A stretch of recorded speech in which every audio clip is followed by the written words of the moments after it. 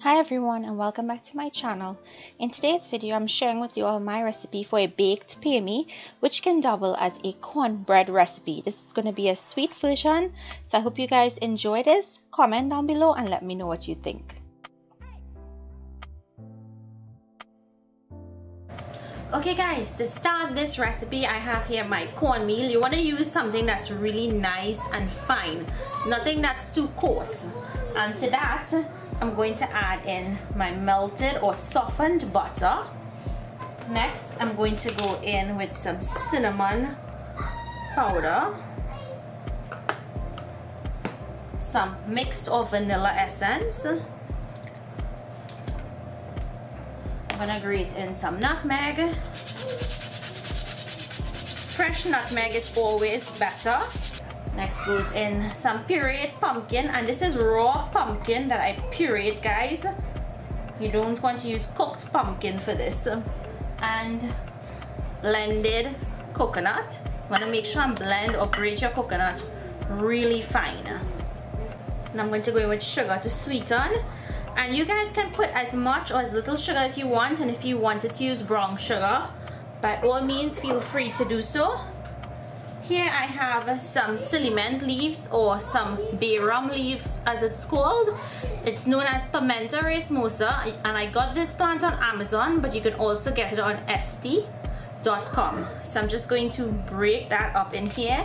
It's going to add that paimie flavor that we're known it's known for. It has that ciliment leaf in there and it really makes a difference. So now all we have to do is go ahead and mix everything together.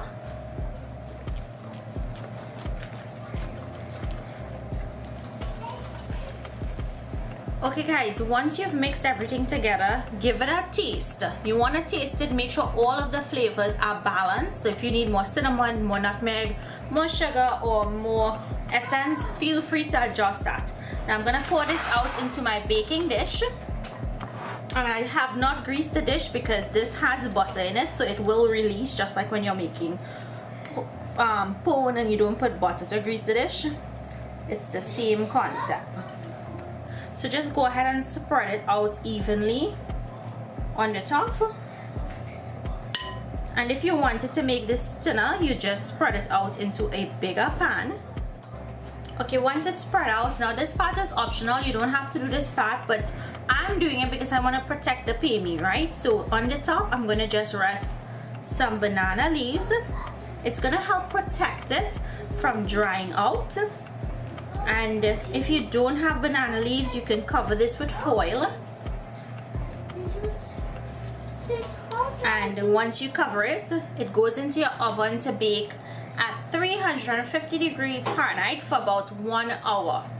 I will take it out halfway through and we will remove this leaf and then allow it to continue to cook. But we don't want it to be really, really dry on top. So I'm gonna pop this in and I'll show you guys what it looks like when it's done. So guys, the paimie just came out of the oven. I removed the the banana leaves and I allowed it to brown a little bit on the top. So you can do that. Um, I, I need to allow it to cool down properly before I can cut into it. As it's hot it could fall apart when I'm trying to cut it. So once it's cooled down properly then I'll cut into it and I'll show you guys what it looks like on the inside. Once your cornbread or paimie cools down you can go ahead and cut it into small pieces. Remember it's thick so you want to cut the pieces a little more on the smaller side and look how perfect it came out it was not too dry and it was not too sweet. It was the perfect balance of flavors. So I hope you guys enjoyed this recipe. Make it, let me know down below. Comment, I want to hear from you. I know everyone cooks differently. This is just my version.